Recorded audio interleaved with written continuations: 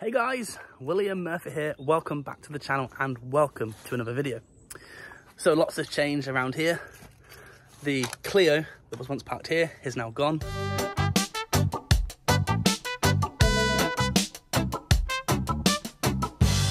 The Insignia that's once parked there is also now gone.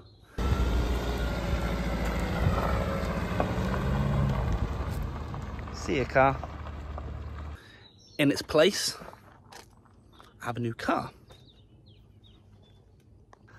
So before we get into the new car, we have had the Nissan Leaf for three months.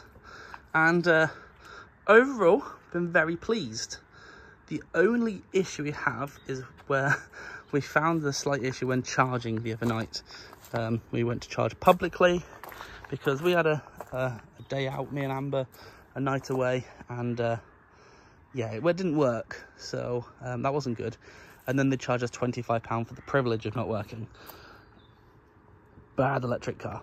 Um, but anyway, less about this. We'll come back to this another time.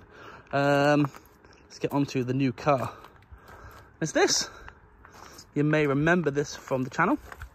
So this is my parents' old uh, Ford Kuga. So they have just upgraded to a new Seat 4x4. Uh, I can't tell you what the name of it is, uh, but um, yes.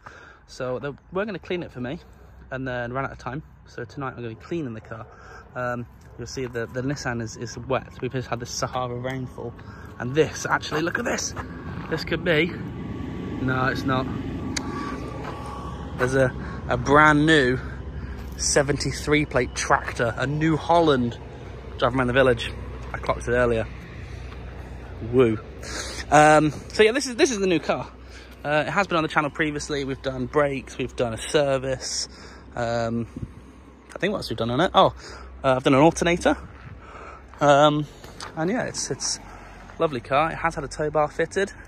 It is the ST Line X model. It's a 4x4, 2 litre turbo, I think twin turbo diesel actually.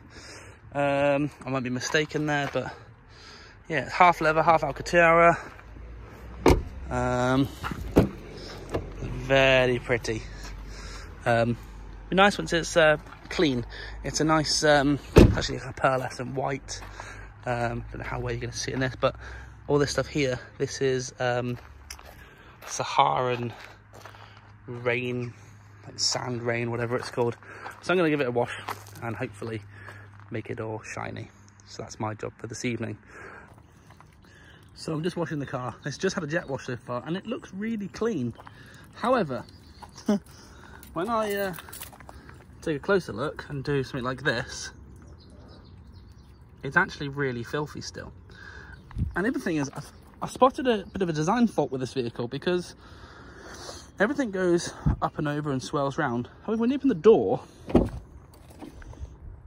all the mud actually just splashes into the inner wheel arch. um, it doesn't go into the cabin, which is great, but that needs a lot of cleaning. So I may look at putting some sort of uh, coating on there or something to try and force the water away. Hmm. Anyway, most of the clean is done. I say clean, I've just rinsed it. I've just rinsed the, uh, the sand off uh, it does need a wash though, so it doesn't get too dark too quickly, I will go over it. Bit of a gapping issue here, bit of a bigger gap there. And possibly here. I need to compare it to the other side. Um, I haven't done this side of the car yet, but um, a few things I'm, I'm, I'm not happy with. I think that I just wouldn't have. So when my parents had this car, they had some rim protectors put on it, which were then siliconed onto the wheels, which well, look awful to start with. But now they've come off, you've got black wheels and you've got a couple of bits of curving and stuff, they look terrible. so there's not on that wheel. Uh, not on that wheel, it's come off as well. Ah, there we go it's there. It sticks out like this, and what it's supposed to do is how you catch the curb. So normally you have a bit of a ridge on the tyre, But in this case, you've got these uh, things. Um, I mean, in theory, they work great. In reality and practicality, well, they're pretty much useless because, you know, three of them have fallen off and one of them is still standing. And the rest of the wheels are covered now in a silicon tar, so I have to try and clean off. So, um, yes. But no, I, I, I sound like I'm not like I'm actually really happy. I've done nearly 100 miles in the car and today. Um, really comfy. Good miles per gallon. 180 pound a year on tax. Pretty pleased. Let's get washed before it gets too dark.